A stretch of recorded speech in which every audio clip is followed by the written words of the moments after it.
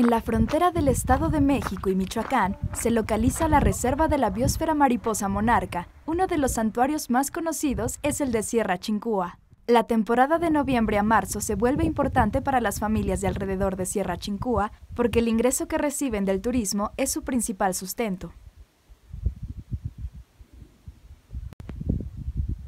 Yo soy guía, mi padre y mi hermano también, y mis hermanas y mi madre tienen, rentan un restaurante para que vendan comida y nosotros nos dedicamos a la, como somos guías a la gente que, que, quiere, gusta comer algo, pues lo llevamos y así es como trabajamos. Pues en el día completo por todo, todo lo que gano son unos 300 o 400.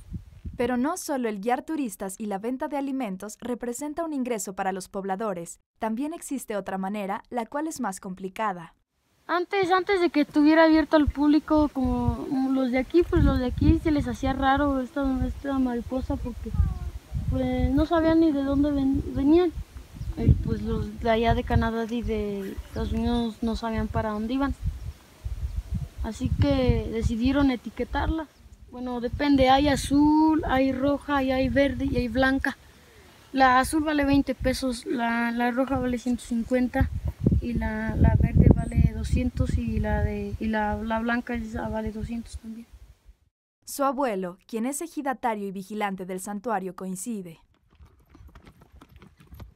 La etiqueta es, eh, redondita, es, chiquita. Pues, un, pues es una muy pequeñita que se la ponen en, en sus alitas. Sí.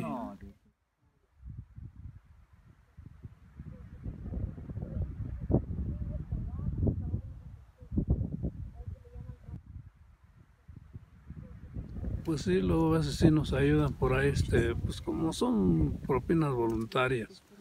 Aquí no, no tenemos así un, pues que digamos una este, tarifa de que se va a pagar.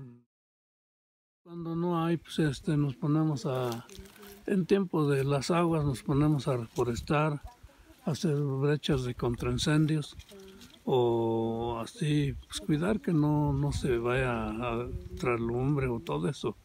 Es el cuidado que tenemos. Sin embargo, los pobladores temen que su actividad económica pueda verse afectada con el incremento de la actividad minera que rodea al santuario, ya que en la zona se encuentran vetas de oro y plata. Este es, es un santuario y se tiene que respetar. Entonces así, este, esto es para todos no solamente para nosotros, pero está a nivel mundial para todos. Con información e imágenes de Sandra Santana, Notimex.